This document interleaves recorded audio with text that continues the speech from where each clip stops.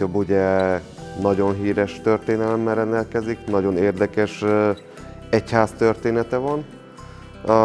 Visszatekinthetünk egész 1083-ig, ugye egy nagyon érdekes helyszín, ahol a Szent Jobbot magát Szent István királyunk jobb karját őrizték, és a településen Szent, Szent László, első László király járt, aki meglelte, felfedezte, hogy itt őrzi Merkurius apát a Szent Jobbot, és ő adta a településnek a nevét. A Berek kis névről lett átkeresztelve Szent Jobbra 1083-ban.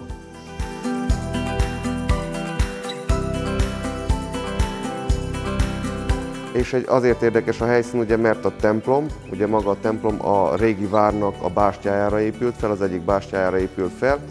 1730-as években kezdték el építeni, és szűk 40 év alatt fel is építették. 1726-ban Gróf Csáki Miklós kezdte, alapította újra, tehát alapította meg a plebániát, az egyházat újra, és akkor, akkor kezdett, kezdődött el újra virágozni az egyházi élet a, a közösség Szentjobban.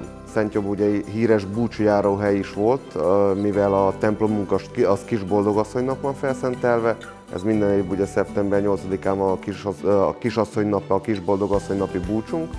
Ez most a mindig a leghozzá közelebb eső vasárnap, ugye, amikor a nagy ünnepet, a nagy zarándoklatot szoktuk tartani. Régebben, még a kommunizmusban is jöttek szekerekkel a környékről, messzebbről, tehát rengeteg, rengeteg ember megfordult, és most már több éve a, a püspökség és a püspök is becsatlakozott, és rendez zarándoklatot hirdet minden évben.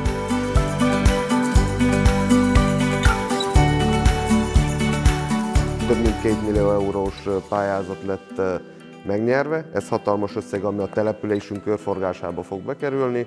Itt mindenféleképp ugye fel fog újulni az egész templomunk, kívül belül, az egész udvari rész, amit kint láthatunk, és van egy apátsági kastélyunk, ugye egy elalakú apátsági kastély, ami teljes mértékben fel fog újulni, több szintje lesz, és az érdekesség az lesz, hogy több szerzetes rendi kornak külön szobái lesznek, ahol mindegyik szerzetes rendnek egy szoba, egy szoba lesz odatéve, amiben ugye régi meg lesz mutatva a ruháik, az életmódjuk, az életstílusuk, és szerintem ez egy érdekesség is, hogy a vár romjaiba is lesz egy, egy múzeum, egy szabadtéri múzeum majd előkészítve.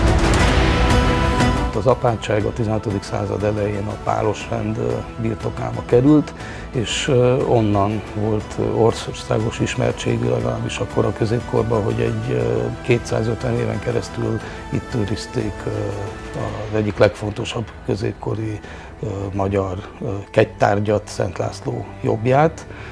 A 16. század közepén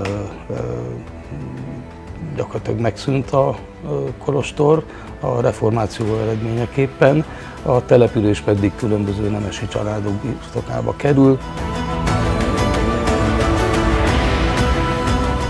Gyakorlatilag áll, itt ez egy bástya volt, egy Szent Jobbi végvárnak a, a délkeleti bástyája, és erre építették rá a 18. században ezt az épületet nem pont ebbe a formába, ez meg tulajdonképpen 20. századi bővítés, és ennek lesz egy nagy átépítése, tehát itt a külső falak megmaradnak, de teljesen újra, újra lesz funkcionalizálva. Mindenféleképpen ennek, ennek, ezt is több oldalból tudjuk megközelíteni, ugye az egyik az egyház élet, ugye az arándoklat fellendülése is, mert egy még szebb körülmények közt várható zarándokokat, meg még érdekesebbé tudod nekik tenni a zarándoklatot. A másik pedig ugye a turizmus jellege, mert ez is nagyon fontos. A településen ez most kezd, kezd lassan rügyezni, és reméljük azt, hogy a virágzását is meg tudjuk hozni, hogy még nagyobb legyen a turizmus és az ebből bejövő összeg, amiből a települést és az emberek is tudnak fejlődni.